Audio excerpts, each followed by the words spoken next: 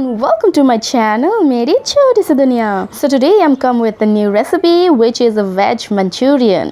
तो चलिए veg Manchurian के लिए क्या क्या चाहिए? इंग्रेडिएंट्स हम देख लेते हैं. So I have taken here cabbage यहाँ पे टू कप्स ऑफ़ कैबेज है, जो कि मैंने अच्छे से ग्रेट कर लिया है. ये है capsicum one cup this is carrot यहाँ पे मैंने डेढ़ कप कैरेट लिया है, जिसको भी मैंने ग्रेट कर लिया है. And one cup onion onion को भी ग्रेट कर लिया है यहाँ पे जितने सारे वेजिटेबल्स मैंने लिया है सारे चीज़ों को मैंने ग्रेट कर लिया है and this is two tablespoon of maida and three tablespoon of cornflour okay आपको ये दो चीज़ें डालना ही हैं और यहाँ पे मैंने लिया है one tablespoon of salt one teaspoon of black pepper powder half teaspoon of turmeric powder 1 teaspoon of ginger paste and 1 teaspoon of garlic paste. And lastly, 2 tablespoon of soya sauce. Mix them well and make a dough like this.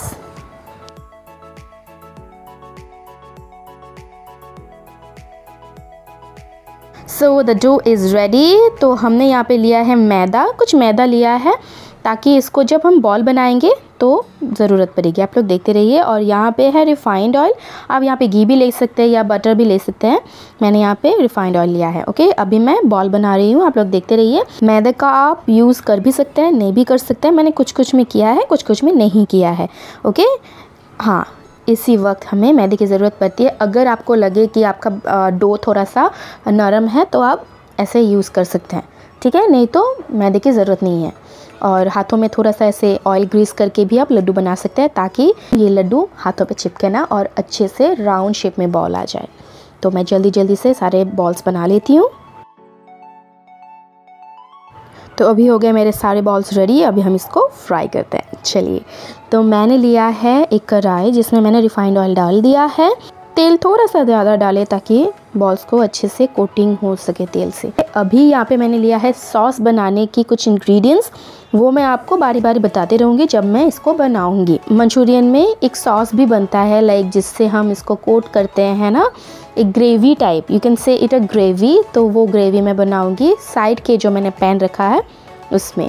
पहले इसको fry करने के लिए रख देते हैं और ये फ्राई होते होते हम ये ग्रेवी भी बना लेंगे। अभी मैं क्या करूँगी कि यही से मैं दो टेबल स्पून ऑयल पैन में डाल रही हूँ और यहाँ पे मैं जिंजर गार्लिक पेस्ट डाल रही हूँ one tablespoon of ginger and one teaspoon of garlic इसको अच्छे से हम ऑयल में फ्राई कर लेंगे। दो तीन मिनट तक इसको अच्छे से ऑयल में स्टीर कीजिए, उसके बाद हम इसमें अनियंस डाल देंगे। यहाँ पे मैंने लिया है one large size onion manchurian के जो बॉल्स है, उसको आप धीमी आँच में पकाएँ, क्योंकि नहीं तो अंदर से सब्ज़ी जो है कच्चा रह जाएगा। हमारा सारा वेजिटेबल्स कच्चा है रिमेंबर दैट इसीलिए हमें फ्लेम लो करके ही बॉल्स को फ्राई करना है।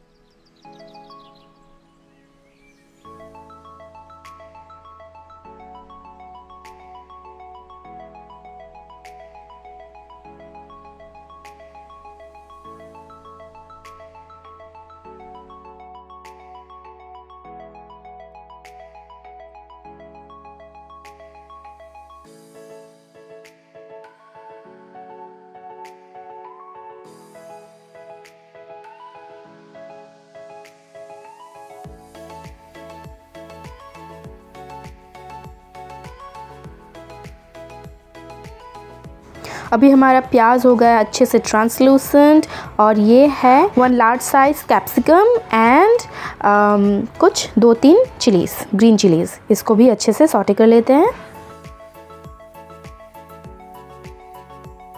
नमक डाल देते हैं हम अभी वन टीस्पून ऑफ़ नमक।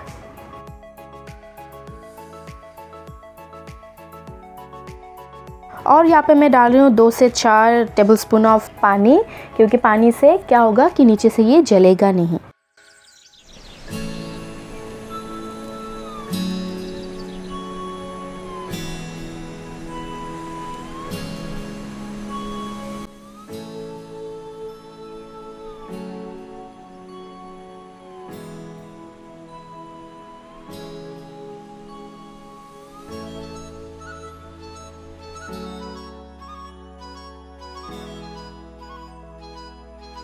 और लास्ट के कुछ बचे मंचूरियन थे, ये लास्ट है और अभी मुझे इसको पकने देना है और मैं अभी ग्रेवी बनाऊँगी।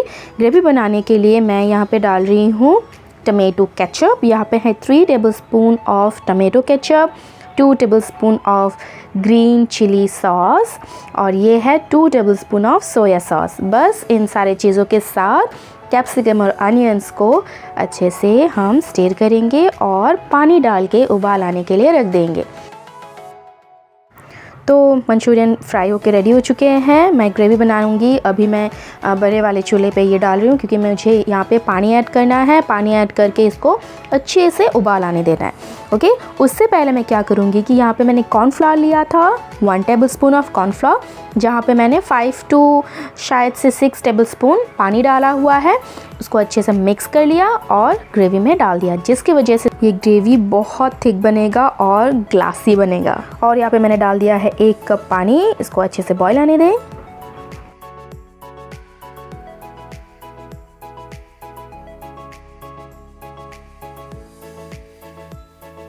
यू कैन सी बॉयल आने के बाद इसका कंसिस्टेंसी कितना थिक हो चुका है। मुझे लगा था कि यहाँ पे पानी थोड़ा और चाहिए, इसीलिए मैंने हाफ़ कप पानी और ऐड किया है।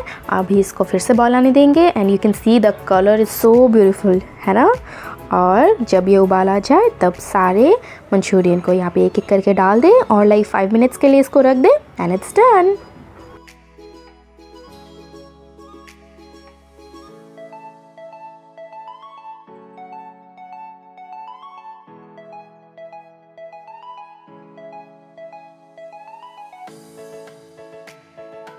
तो हमारा वेज मंचूरियन बन के रेडी हो चुका है। अभी हम इसको प्लेटिंग करते हैं।